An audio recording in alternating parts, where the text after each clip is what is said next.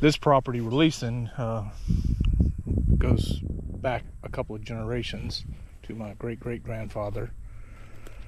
And so this land was never row crop. Uh, we, we are actually going to be able to do something that is not on row crop and have to regenerate it.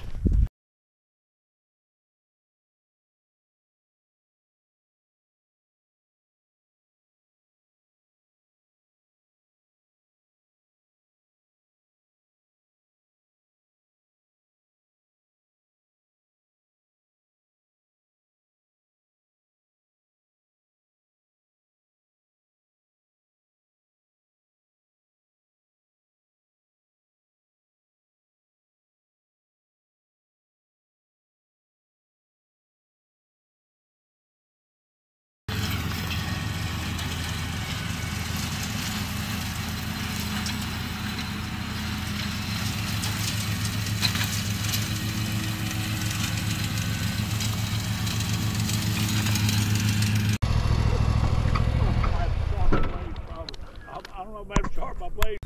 We need some more of that size to do. Well, we don't have to do the entire area, but I think this is going to be. Means I can plant flowers like for pollinators too. You see, you had a lot of butterflies. Well, we got our first tarps laid out.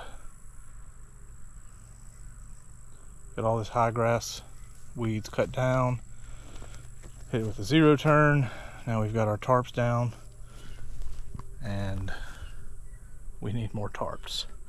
Um, we're going to try to do a market garden here. See what we can do in this.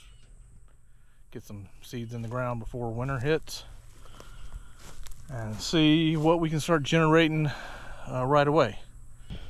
Uh, added benefit, like I said, this property's been in my family going back um, four generations.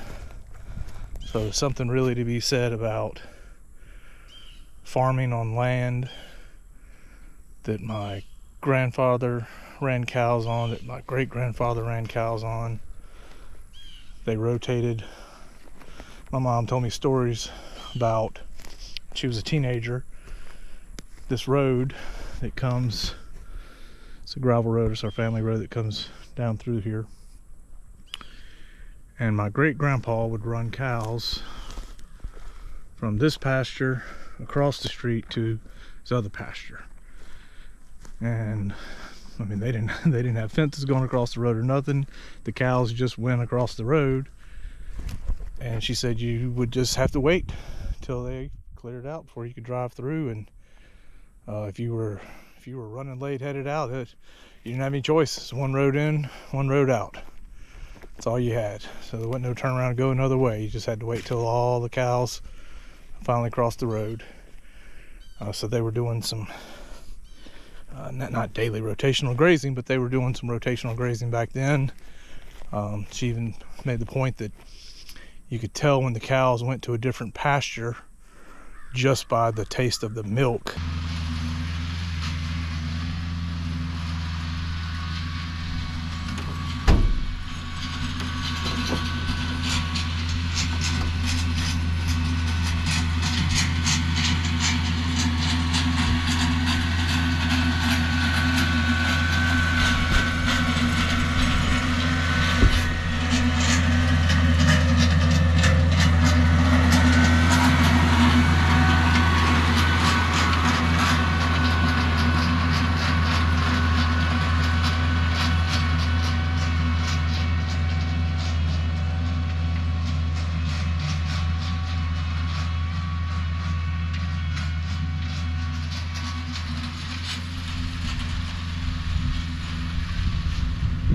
All right, so the battery cut off, of course.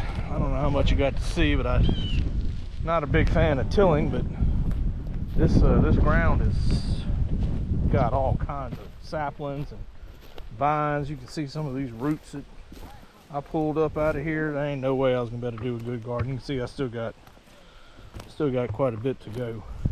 So I used the uh, tines on that box blade to run through here, back and forth each direction and uh, there's still. I mean, it broke.